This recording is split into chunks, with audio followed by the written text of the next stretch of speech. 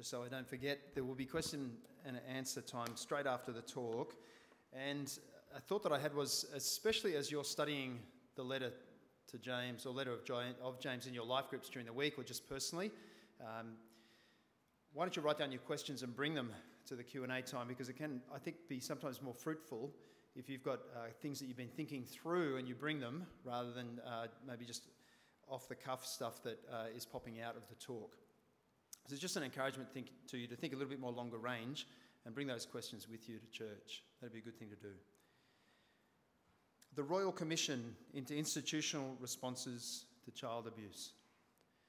Um, we don't need to go beyond the title of that to understand what happened. Um, children were abused in institutions, and that was bad enough, but even worse was the institutional response.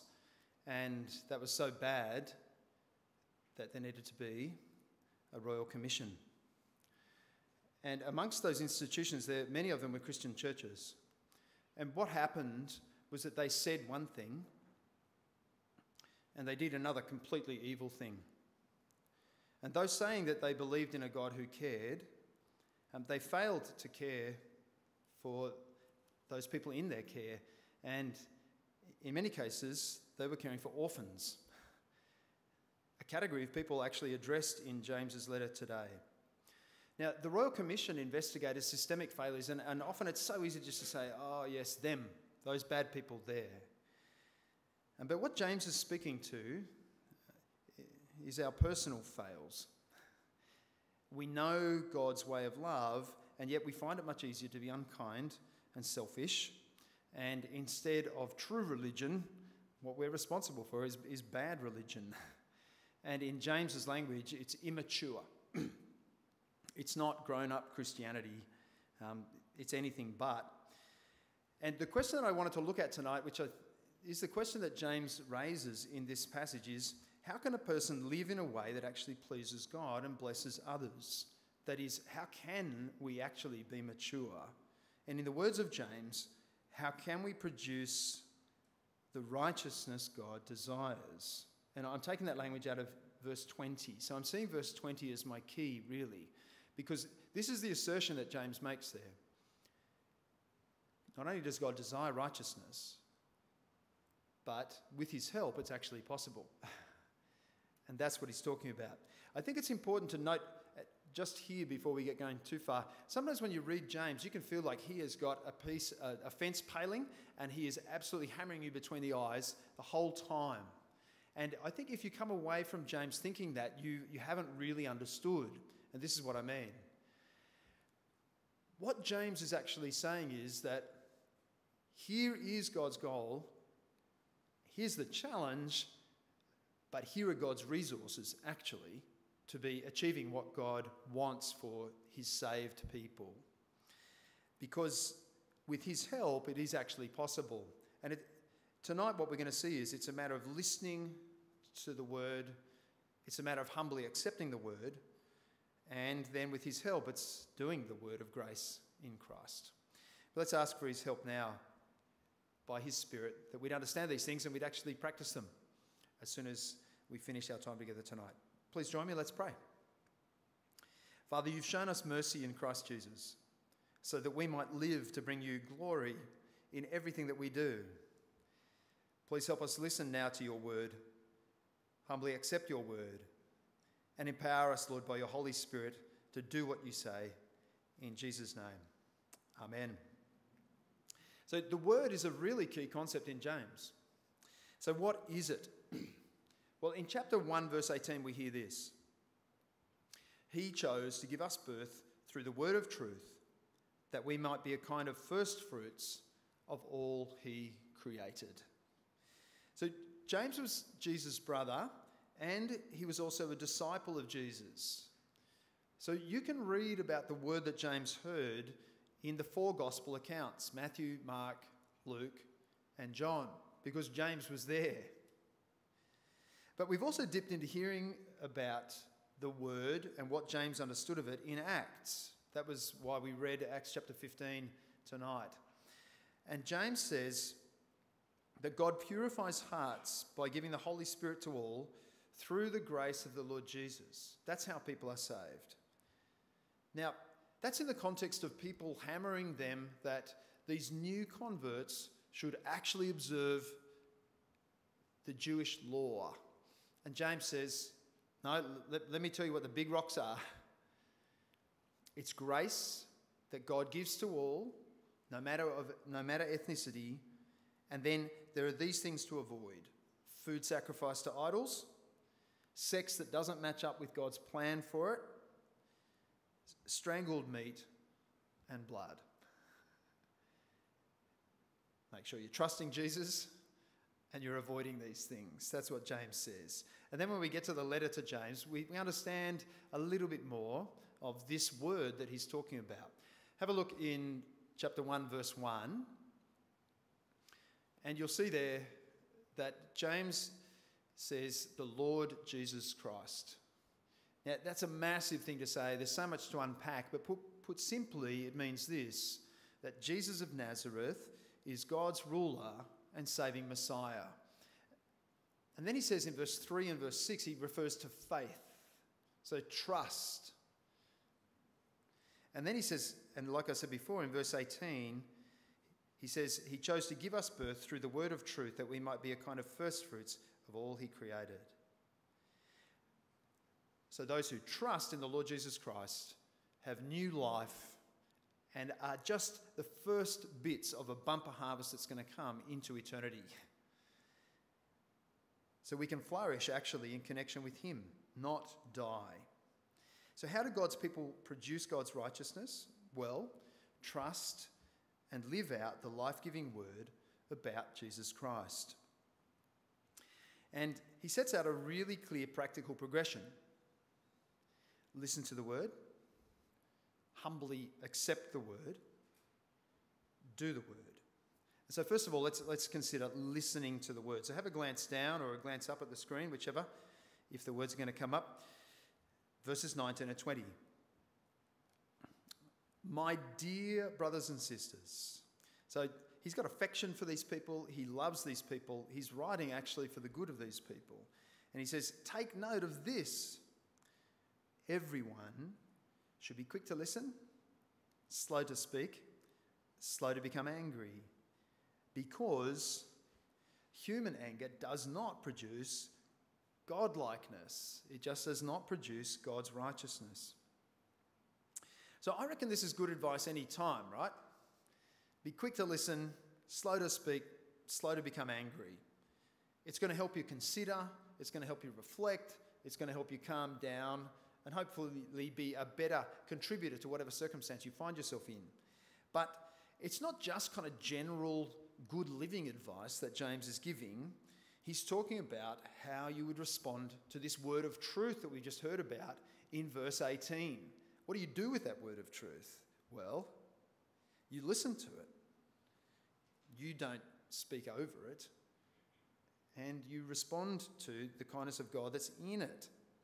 This is the first step in bearing fruit, being part of those juicy first bits of God's eternal harvest.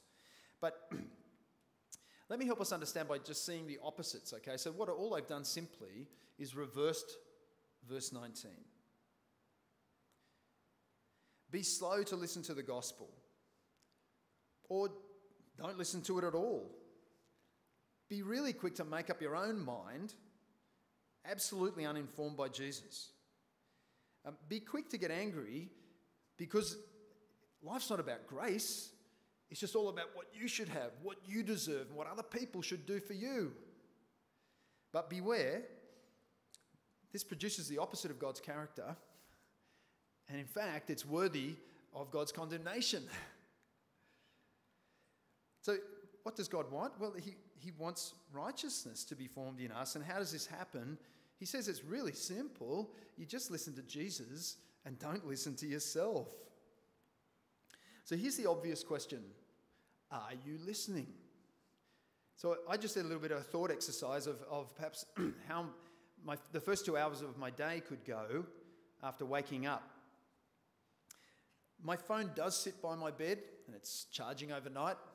Pick it up, look at the news, move on to emails, a little bit of music, check out what YouTube thinks I should be looking at today, check in with Insta, TikTok, and it's just about time for coffee at 8 o'clock.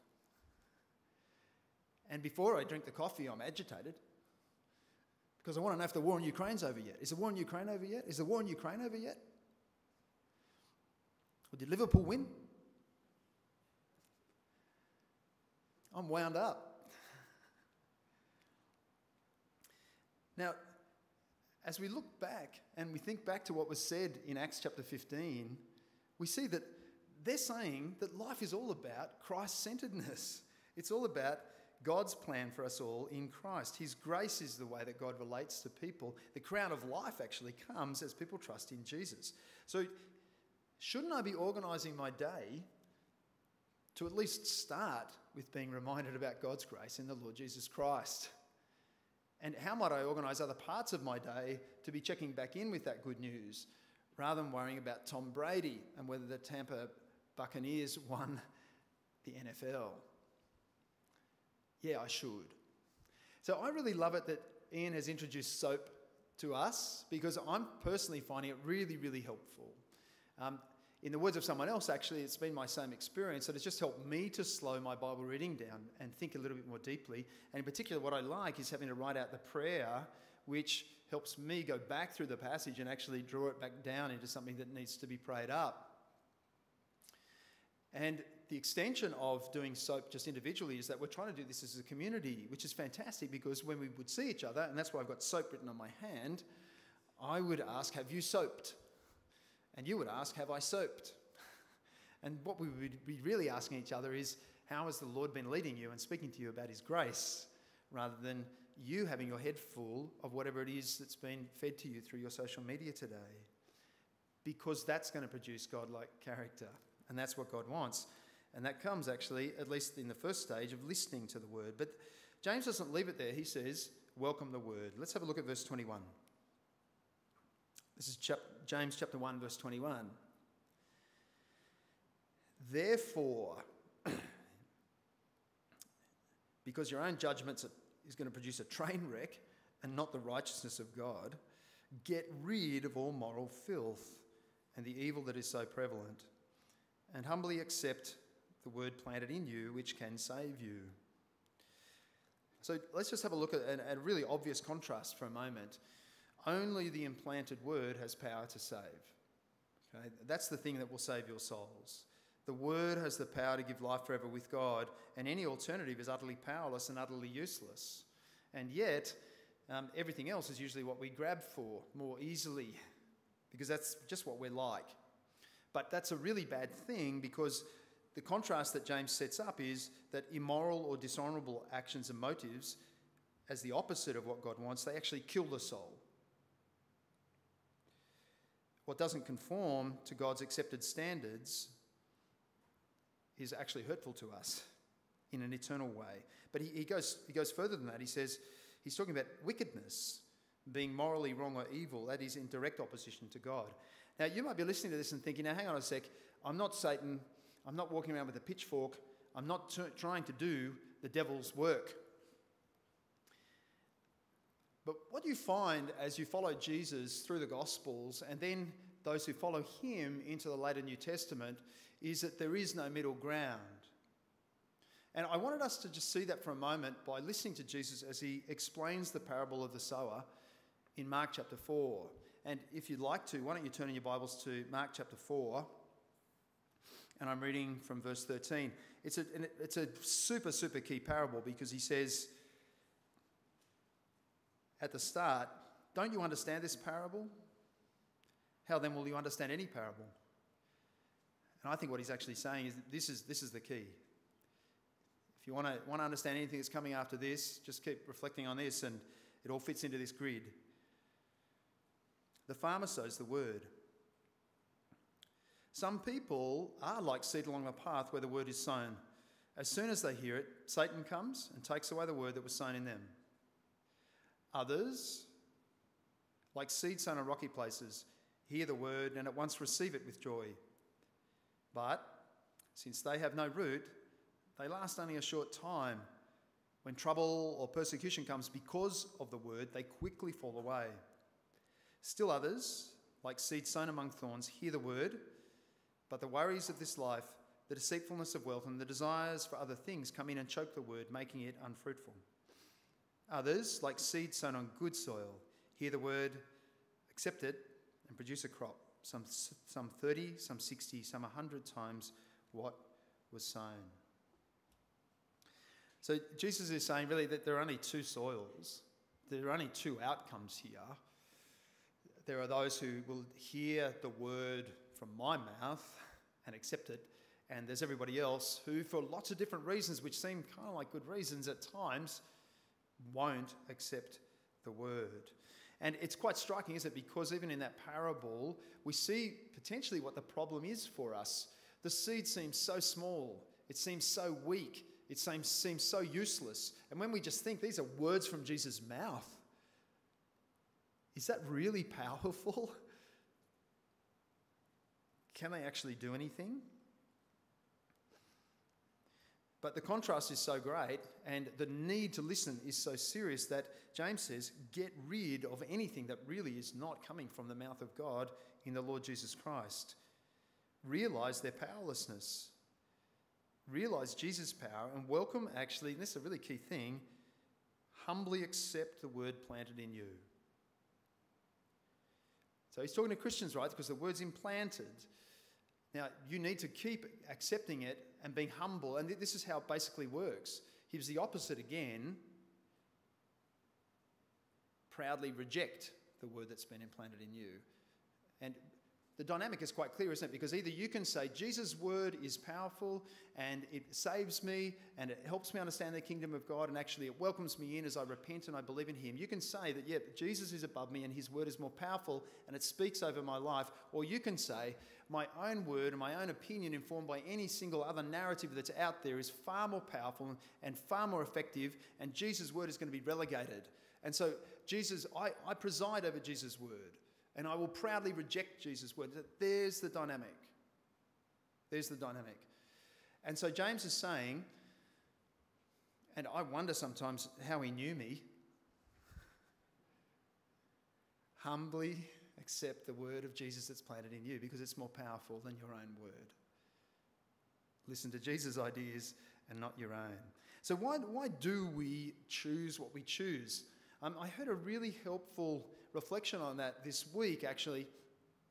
And the person said this it's not that we're really sold out to evil, and it's not that we really want to worship Satan and kind of really grab onto anything that he's doing. It's just that we see what is good in the part of this thing that becomes a choice that's not Jesus, and we say, okay, well, that's not so bad.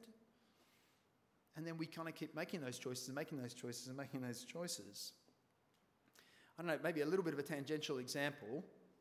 Uh, just in the last 48 hours, I went up to Sydney and back, and there's a, an extended piece of roadwork where the two lanes are still working, but because of the work that's being done, there's restricted space and the speed limit needs to be lowered. And of course, I observe the roadwork speed limit. But there are many unrighteous people who do not.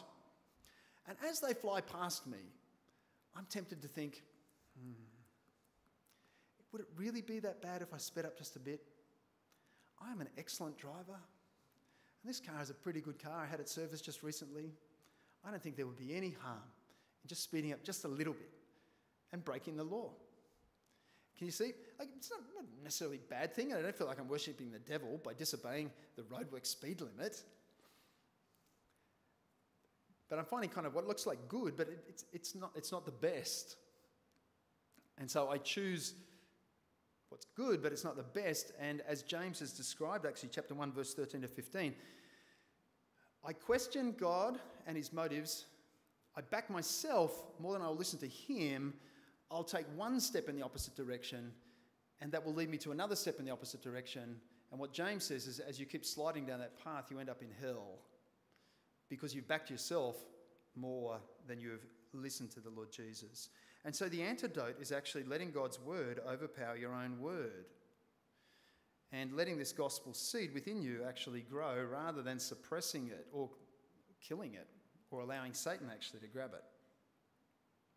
So it's listen to the word, humbly accept and welcome the word, but doesn't stop there. Practical progression to produce God's righteousness concludes in actually doing the word. So have a look, verse 1, or chapter 1, verse 22, and then 25. Do not merely listen to the word and so deceive yourselves. Do what it says. And then verse 25. But whoever looks intently into the perfect law that gives freedom, that is, the gospel of grace in the Lord Jesus Christ, and continues in it, not forgetting what they heard, but doing it, they will be blessed in what they do. So, those who are hearers and not doers, he says, they're just deceivers. Um, because the believing actually shows in living. And if your showing is not living it out, then it actually reflects on the fact that you're not knowing. And we'll talk about that in just a moment. And here's why it's a massive challenge for people like us because you are highly educated, you are highly intelligent, and you have been and you are being raised in a society that says, know this, pass this test. And if you can pass this test, that proves that you know stuff. And that's how it's going to keep going. And if you can keep proving that you know stuff, it's going to go well for you, actually. And so it's really hard for people like us, who are creatures of our environment, to actually press down into the doing because we feel like our knowing is enough. And this is highlighted um, really well recently, and some of the staff and others of us who were at the CMS dinner were deeply challenged about this when we heard an Australian brother in Christ speak about what's going on in Dubai, a ministry amongst many, many itinerant workers in Dubai. And he said, Look, we have come to a realization, which is in part a rejection of how it works in some of our circles, evangelical churches in Australia, because what we realised was that evangelical churches in Australia work on this principle that maturity is revelation. So the more you know, the more mature you are in the Christian life. But as we've looked again at Matthew 28 18 to 20 and Ephesians 4 and other passages about discipleship and Jesus' mission and what it actually means to be Christian, this is the conclusion that we've reached. That Christian maturity is in the experimentation, in the doing, in the living. And he presses it even further and says, Christian maturity shows in multiplication that you would get on with Matthew 28 18 to 20. And each of us would be involved in that, even to the point where we're baptizing the people who become Christians through how we have shared Christ with them. And I think that fits with what James is saying. He's saying this is not just for your ears and mind, but it's for your life. So the question becomes are you doing and being blessed? Are you living the Christian life? And he has this amazing example, doesn't he, James, at this point? He says, knowing and not doing is like this looking into a mirror and immediately walking away and forgetting your face. Who does that? No one. That, that's the point, right? And so he says, knowing the grace of God in the Lord Jesus Christ and then walking away and, and doing nothing? Who does that? And that's touching our sensibilities, isn't it? Ah, he knows me. it's like he's writing this to me. ah, yeah, well, uh, sometimes I do that. And he's saying, okay, no, no, no, Let's, let's do a reality check now. Let's remember the word of grace. Let's listen to the word and do it because they go together. Don't deceive yourself because true faith is never alone. Grace is never alone. It's actually accompanied by the fruit of the gospel in our personal living and following the Lord Jesus, becoming more like Him, and if God so chooses, seeing that actually go out. So I've got two reflections for you by way of application. I have been, I'm responsible for organising foundations. And foundations is our course that's preparing people for baptism and confirmation. And it is full, because I've made it full, of being clear about Jesus. So people have to do a two minute gospel summary and they have to even get down to a 20 word version so that they're super, super clear because it's even harder to express the gospel in 20 words than it is in 50 words than it is in 200 words. And we're looking through the whole of the Gospel of Mark and we're asking questions Who is Jesus? Why did he come? What does that mean for us? We're talking about personal testimony and the clarity of understanding Jesus in the middle of that. But I'm realizing that I need to be asking everyone not just what you believe, but what are you doing? Write out for me what you've been doing this week. I need you to do a, a what, what's that thing called? A time, a time and motion survey and bring it next Sunday. And we're going to sit down and have a look at that thing. We're not going to do that, Foundations people, relax. But I think the course needs to be rejigged a bit in the light of James because it's not just a matter of being clear about who Jesus is, it's a matter of being clear about who Jesus is and living a life that's based on knowing and loving Him. So let me give you a positive example of how I've experienced this because it's a really beautiful thing, isn't it, that James says. And again, I want to remind you it seems like he wants to whack you in, in the head all the time. But what he's saying is, I'm going to challenge you, but here are God's resources. And I'm going to challenge you, but here's how good it is. And he says, they will be blessed in what they do. So there was a brother in Christ we got to know in Florence called Gaston. He was from the Ivory Coast. He was a religious and a political um, exile because of the, the situation in the Ivory Coast. And he fled pretty well with nothing. That meant that he was at the mercy of the generosity of anyone in Italy, and in particular, the members of our church and other churches in Florence. And so, as a response to the servant king who served me and the gracious God who's shown me grace, I and we as a family sought to be gracious to him. We would have him around for meals. I would catch up with him.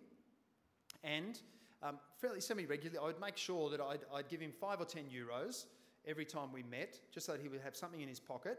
I knew other people were probably helping him out as well, and I didn't want to give him too much just so that he wouldn't think that I was his personal banker or a credit a line of credit and keep coming back to me just for the money. In 2000, so we left Italy in 2015. I had the opportunity to go back in 2018 for the wedding of a guy who was an apprentice under me. And Gaston, as, as Gaston found out that I was going to be in Florence, but I didn't have much time, he was desperate that he would, he would see me. And so we had about half an hour in the train station just before I got on the train to go elsewhere. And he pulled out of his wallet, because his circumstances had changed, he, he gave me a 50 euro note. And I knew what was going on in that moment because what was happening was he was saying, I'm going to bless you because you've blessed me. It was awesome, actually. It was a fantastic demonstration of how, when we are all serious about receiving God's grace and showing God's grace, we don't actually need to worry about ourselves. Because if I've got my eyes on Jesus and how He's loved me, I'll actually be trying to take care of you. And if you've got your eyes on Jesus and how He's taking care of you, you'll actually have your eyes on me. And when this is actually functioning, we are all just taking care of each other. It's so awesome. That is how we want to grow as a community, right? Because we say we want to be a people gripped by the love of God in Christ. And we want to, we want to be available to, to be serving others, to see strangers, to believers, to lovers, to warriors. That's what we want to be on about. So I want to encourage you, brothers and sisters. Life is not about performance. It's not about your bank account. It's not about the house or the number of houses you're going to have or the career that you're going to have. It's just not that at all. And that's what James is saying um, because all those, all those narratives will push you in a direction. Those things can sit under the Lordship of Christ, and that's where they must sit, but you've got to make sure that you're listening to the Word, you're humbly accepting the Word, and you're actually doing what the Word says, and that's going to show itself in graciousness that's turned outwards. And, and an easy way of practicing that is actually after church. Um, and I just want to encourage you if, if you're finding yourselves always talking to the same people, can you start to look out for people you don't know and practice grace by being turned outwards? It's just a really, really easy way of getting on with what God's talking about here. So, how can a person produce the righteousness that God desires? What does true religion look like? Well, James finishes off very practically in this, in this part of the, uh, the chapter. Bite your tongue, open your heart, and be in the world, not of the world. Have a look at verses 25 to 26. Those who consider themselves religious and yet mm, do not keep a tight rein on their tongues deceive themselves, and their religion is worthless. Religion that God our Father accepts as pure and faultless is this to look after orphans and widows in their distress, and to keep oneself from being polluted by the world. so, true religion, scrupulously observing the rituals of faith. That's what true religion is, doing what you say you believe. And James says, well, bite your tongue. He's already said it, I think he's just looping back around now and, and closing off this section. Be quick to listen to his word and not your own. Stop talking a good game. Check your own narrative. Are you making up your own rules? If you're anything like me, you absolutely are. I think I'm the expert on everything, and I'm pretty right most of the time.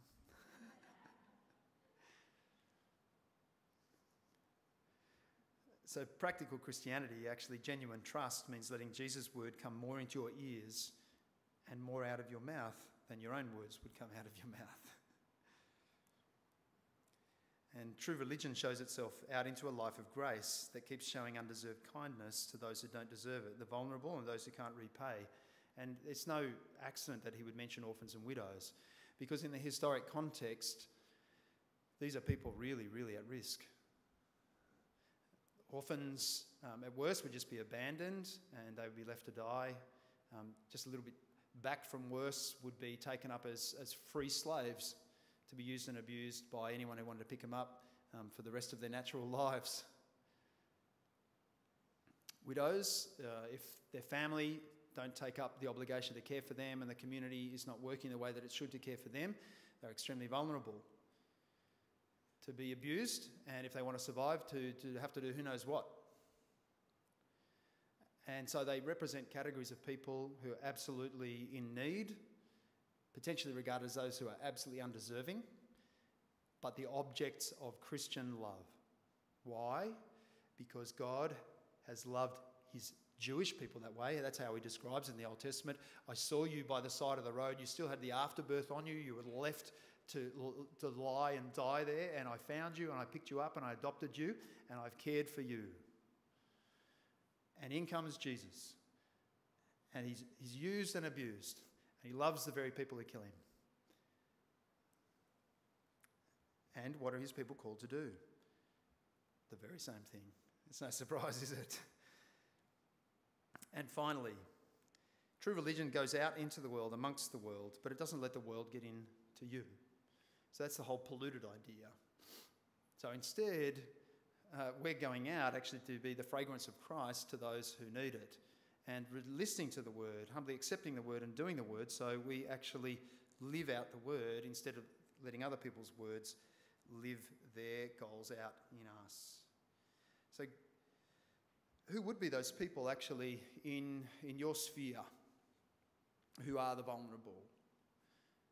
And there, there, there are those people at school, there are those people at university, there are those people at work there are those people amongst us. And what we've got to keep asking ourselves is okay, are we actually being compelled by the love of God in Christ and, and heading out towards other people? Or are we just kind of sitting around making a new kingdom for ourselves and gathering people who are happy about that? Because grace based living serves the vulnerable. And here's how beautiful it is it frees us from the tyranny of self serving and that everything would be for me. And in my personal experience, what it actually does, it frees my mind and gives me purpose because I'm not thinking about myself actually. I'm thinking about the Lord Jesus and his agenda for me and for the world, and I just want to get on with that. And it's just revolutionary. It's awesome. It's really good. It produces God's righteousness, God's Christ likeness. So I started by remembering the Royal Commission, and I'm sorry I did. But those accounts and those testimonies just recount people saying one thing and doing the opposite. And in fact, what they've done is cursed other people and they've cursed themselves. And we're still feeling the effect. That's why Safe Ministry exists, actually. It's a direct outcome of what people in the recent past did not do. And where any one of them called themselves Christians, they were effectively non practicing and they were Christian in name only. And they allowed the world in to pollute and poison them, and this continued in poisoning others by their evil actions. And James is just saying, stop, stop, stop, stop, stop. And in fact, he's saying something much better than that. Come in, come in, come in, come in, come in. Experience the grace fully, experience the blessing more. And here's, here's my challenge to you. What would it mean just uh, this week to do one thing that kind of presses in to showing grace and experiencing the blessing?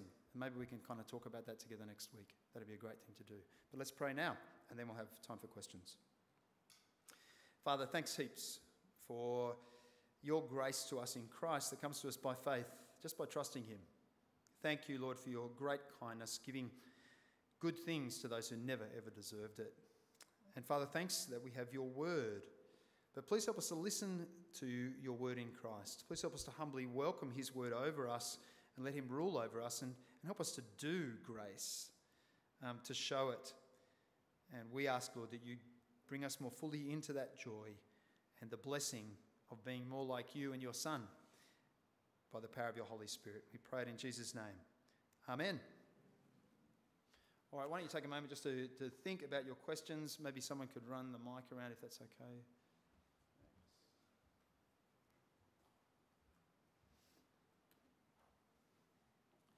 Go for it if you've got a question.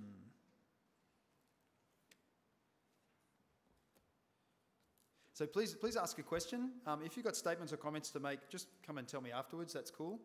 Um, but this is question time.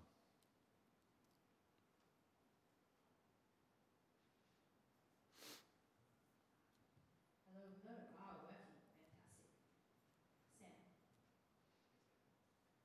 Um, so I just had a question about uh, verse 21. It talks about, um, uh, it says the word uh, planted in you. I'm Yep. sort of trying to figure out what that means. And it's talking about the same thing that um, uh, Romans 2.15 is talking about when it says the requirements of the law were written on your heart. If it's the same thing or if it's like a different thing. Yes, okay. So I think what he's talking about there, the word humbly, the word planted in you, I'm understanding that to be the gospel. Yep. And I'd probably see, I'd probably see a slight difference between that and Romans chapter 2. Um, although I think the conviction of the Spirit through the gospel and actually the Spirit generally convicting people of God's righteous law, there'd be a connection there. But yeah, I think, Sam, in, in James, he's actually talking about the gospel, yeah, which can save you. Yeah. Yep.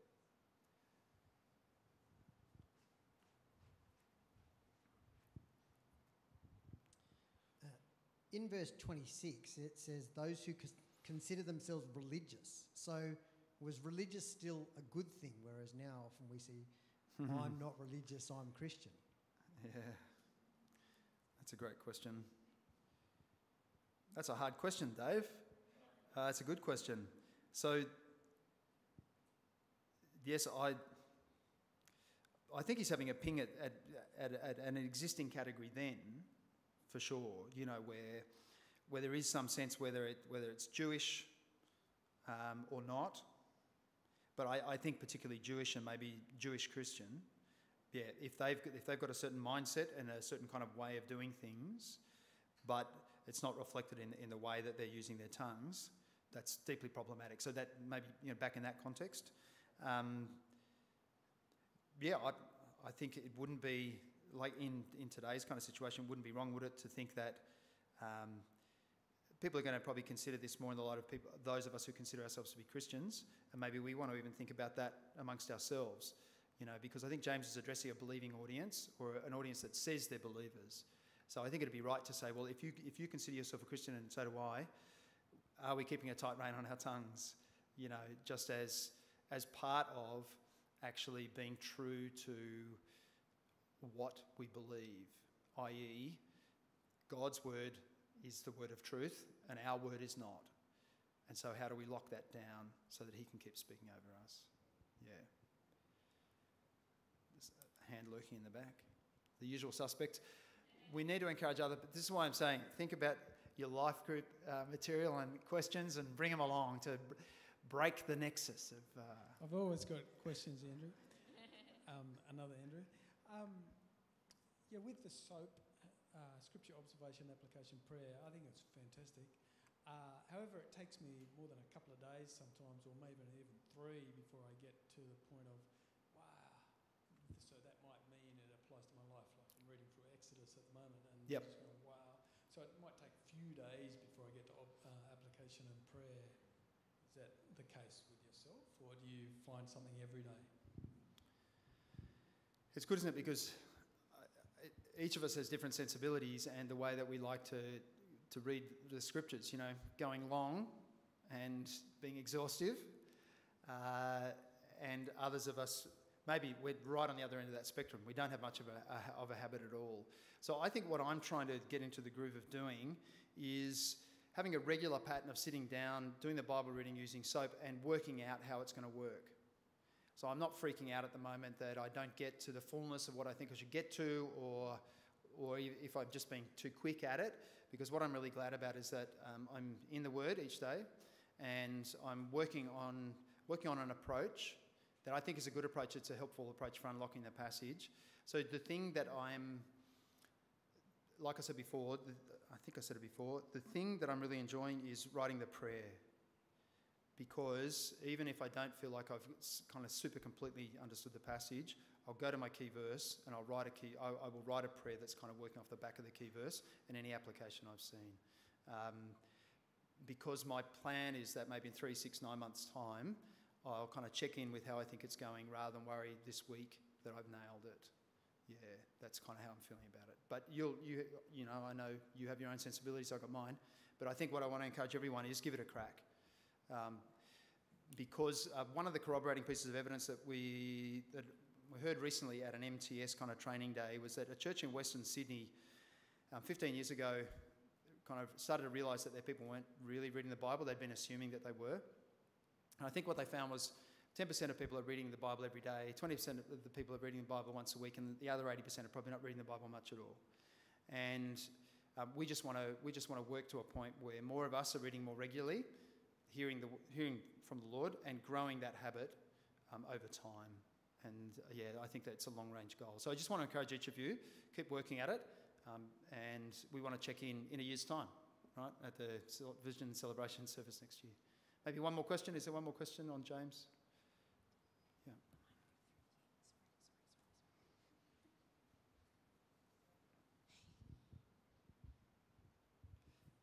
Thanks, Andrew. I just, you spoke about looking for uh, the vulnerable and particularly as them uh, being the objects of Christian love. I wondered if you had a word for people who feel um, more in that space than as people who uh, have the capacity to be looking out for others, if that Yep. makes sense. Yep. That's good. That's a really helpful question.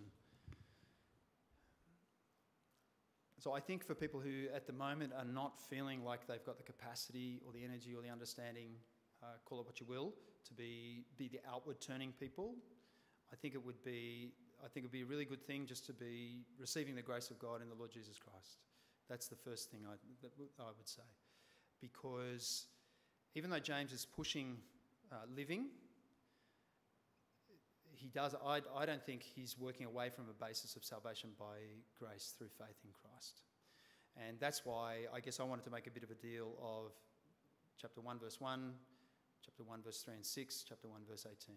Because as we put that back together, and also, also we understand James back in his context of the Gospels and of Acts, he's a, he's a, he's a grace guy. And so, a word to you if you really are, are struggling, and absolutely, th- there are people amongst us who are, and that's, that, that is life.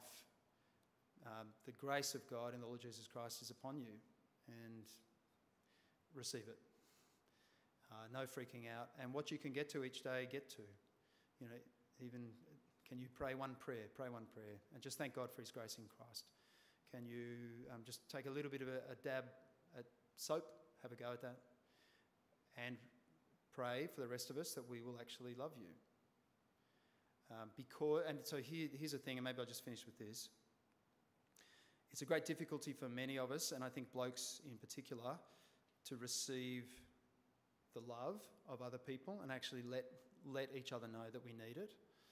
And it's a chronic situation, right? So, mental health, it, it's a recipe of mental health disaster. and more men committing suicide each year than women. That's, that's absolutely a genuine statistic. We heard that this year just in the course of the push up challenge.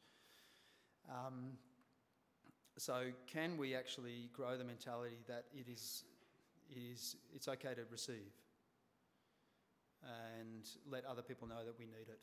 Because I think without that humility, we're just never going to be able to get the community happening the way that God wants it to happen. Um, yeah, and so uh, yeah, it's okay to feel not okay. God's grace is for you. Um, do let others know because what we're trying to grow up actually in, I'll, I'll, it's not a plug for Serve 2023, but it's a good way of explaining why we're doing what we're doing. We're trying to grow our discipleship in community and we're trying to grow our care for each other in that context. Um, because it's too easy for us to be isolated from each other, just turn up to a church service occasionally, not really be known, and then really be going badly. But what we're trying to grow is a majority participation in church and life group with a genuine Christ centeredness that cares for each other. And so I can't encourage you more strongly actually to be in a life group um, because that, that is partly why they exist. Yeah. So thanks for that question, Anna. Also, if you are feeling like um, you are not at that point where you can give and you need to let someone know, I'd be glad to hear it. Ian would be glad to hear it. Um, I'm sure Anna would be glad to hear it as the question asker. Um, but please let's talk with each other and pray. You know, like we can easily do that after church each week. Um, just let's do that and be, be here for each other. That's partly why we turn up, I think, not only just to listen, but actually to grow in our doing. And like I said before, if you just find yourself with the same people every Sunday, I just want to challenge that. Um, that's not pushing out with grace, and it's a really safe place to do that here. It gets harder the further out you go. So let's practice that amongst ourselves. Let me pray, and then I'll hand over to the musos. Thanks, guys. Yeah, let's pray. Father, thanks that you come to us in our utter weakness. And when we remember the imagery of what Israel was like by the side of the road, absolutely about to take its last breath, without any hope in the world, and then in you came. And so we pray for ourselves tonight, Lord, have mercy on us. We ask you, especially for those amongst us, Lord God, who are feeling absolutely wrung out and right on the edge. And we do ask, Father, that you would keep hanging on to them and they would receive your grace. And uh, that not only would they might make a courageous step of making known that they need help, but the rest of us um, would actually be ready to help and responding to Christ as we do. We pray, Lord, in Jesus' name. Amen.